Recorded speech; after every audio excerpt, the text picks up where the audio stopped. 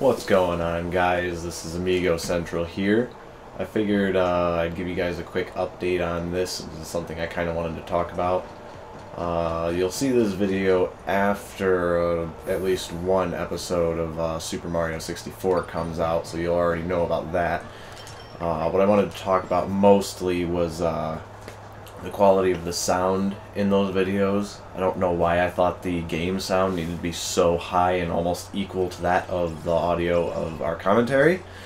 Uh, it kind of screwed us over a little bit in terms of what the video sounded like. I did a little bit of editing in Sony Vegas to see what I could do, uh, mess with the audio.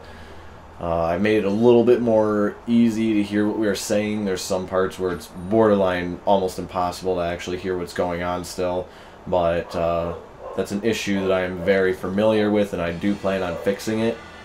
Uh, now with that being said, those videos we recorded six episodes so far, all at once, so, oh jeez, an entire team of splat rollers. Uh, anyway, more focus here I guess. Uh, so with that being said, there is going to be quite a few videos, six of them, that have virtually uh, the same audio as I didn't really change it too much, if at all, during those six episodes. I believe I may have uh, tweaked it ever so slightly, maybe later. As well as in the first episode, I had completely forgotten to turn the sound on my uh, my TV and its sound system down. Uh, so with that being said, in the very beginning of that video is going to be the worst of the audio. It gets very minorly better throughout the time. Uh, so basically one other thing that I wanted to point out is that you're going to notice that I'm basically always going to be in the videos. Uh, the reason being is because we record at my house. Uh, and just whenever anybody else is free is pretty much when I get a chance to record with them as well. So whenever they're free, I'm always going to be here in basically every video. I highly doubt that for a while there's going to be even a single video without me in it just because it is at my house having two people recording something at someone else's house while they're not there is very low occurrence rate. Not going to say it's impossible, but I very highly doubt that it's going to happen. Uh, now, uh, one last thing I wanted to talk about as well, and uh, partially why I'm not doing so great right now, is I am referencing a small note sheet to make sure I capture everything that I wanted to talk about in this video.